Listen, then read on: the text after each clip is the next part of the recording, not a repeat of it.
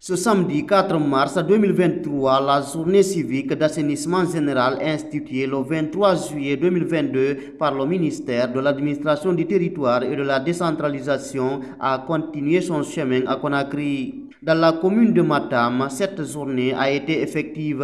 Les populations se sont fortement mobilisées pour marquer leur participation à la démarche des autorités de la transition. Des jeunes et des femmes des quartiers de Matam sont venus accompagner le maire Ismaël Kondé dans cette action citoyenne. Le maire est satisfait de la sortie massive de ses citoyens. La journée d'assainissement de ce samedi a consisté essentiellement à nettoyer les routes principales. L'initiative vise à changer de stratégie pour éviter l'insalubrité grandissante dans les caniveaux. Chaque chose a son temps. Aujourd'hui, euh, si vous voyez aujourd'hui que les caniveaux sont sales, c'est parce que les routes sont sales. Parce que c'est les, ordures qui se trouvent aujourd'hui le long des routes qui se retrouvent dans les caniveaux. Donc nous allons commencer d'abord à rendre nos routes propres, après nous allons attaquer les caniveaux. Mais nous avons toujours fait les choses à l'envers ici. Nous, nettoyons nos caniveaux et nous laissons nos, artères principaux sales. C'est pourquoi dès que nous nettoyons, les, routes, les, les ordures qui se retrouvent le long des routes vont être encore transportées vers les caniveaux. C'est pourquoi cette fois-ci l'organisation a été différente. Nous faisons d'abord l'assainissement des cadres, des, trottoirs, des emprises, des routes. Après, nous, nous, attaquons maintenant les caniveaux. Parce que quand il n'y aura plus de, de saleté dans les routes, il n'y aura plus de saleté dans les caniveaux parce que ce sont les saletés des routes qui se retrouvent dans les caniveaux. De la mairie de Matam, en passant par Constantin jusqu'au marché de Bonfi, le maire Ismaël Kondé était en action pour montrer l'exemple dans le cadre de l'assainissement. Il a par ailleurs fustigé le comportement de certains citoyens qui n'ont pas voulu participer à l'initiative gouvernementale, celle de rendre la ville propre.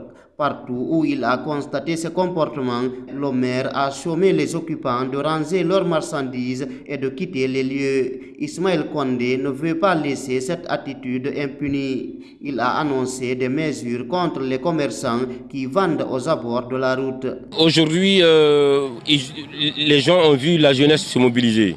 Mais malheureusement, euh, les commerçants euh, se sont faiblement mobilisés. Et là, il faut vraiment que euh, les mesures appropriées puissent être prises. Parce que nous, nettoyons aujourd'hui la devanture de ces boutiques, des lieux où ils exercent leurs activités. Les jeunes sont, quittés, sont sortis dans les quartiers pour venir assainir là où ils sont. Mais on les voit assis euh, de façon indifférente. Et dès, le lundi, euh, nous allons convier une, une réunion au ministère de l'administration du territoire pour pouvoir prendre des mesures appropriées face à ces incivilités parce que c'est eux qui salissent et nous ne pouvons pas venir nettoyer à leur place et qu'ils soient indifférents à ces actions. C'est le seul côté négatif aujourd'hui que nous avons pu souligner. Mais je vous assure que ces actions ne resteront pas impunies et nous allons prendre des mesures très appropriées pour que les endroits que nous assainissons aujourd'hui puissent rester et demeurer propres. La, la brigade de lutte contre l'insalubrité va être franchement mobilisée dès la semaine prochaine pour commencer à réprimer la devanture de, toutes les boutiques qu'on va retrouver encore les, sables et les ordures parce que c'est eux qui seront responsables, parce que la population ne va pas quitter dans les quartiers pour venir salir ici. C'est les conteneurs qui descendent du port, c'est les ordures là qui vont se retrouver dans les entraves, et c'est ce qui rend aujourd'hui le cadre de vie insalubre. Je vous assure que euh, en tant que collectivité, les mesures idoines vont être prises très prochainement pour corriger cet art. Le ministre du Budget qui était aux côtés du maire a quant à lui dressé un constat alarmant lors de la journée civique d'assainissement général dans la commune de Matam. L'ancien Condé a parlé de la présence massive de sachets plastiques à usage unique dans les caniveaux. Des sachets utilisés de façon abusive selon le ministre. Il en a profité pour inviter les citoyens à renoncer à l'utilisation des plastiques à usage unique. C'est de sensibiliser fortement les populations et leur demander de renoncer au plastique à usage unique. Quand vous allez à la boulangerie, prenez du plastique. Prenez les tissus qui couvrent le pain. Si vous allez à la pâtisserie, prenez quelque chose qui ne soit pas un plastique à usage unique.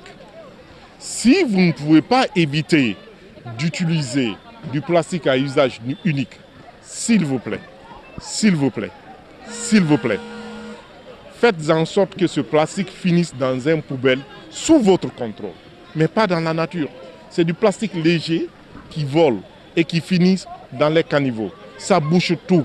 L'eau ne peut pas passer à travers bientôt la saison pluvieuse. Tous les matériels d'assainissement étaient réunis pour rendre la journée civique d'assainissement général à Matam effective et réussie. Des machines tractopelles, des brouettes, des balais, des poubelles et des camions de ramassage d'ordures étaient au rendez-vous.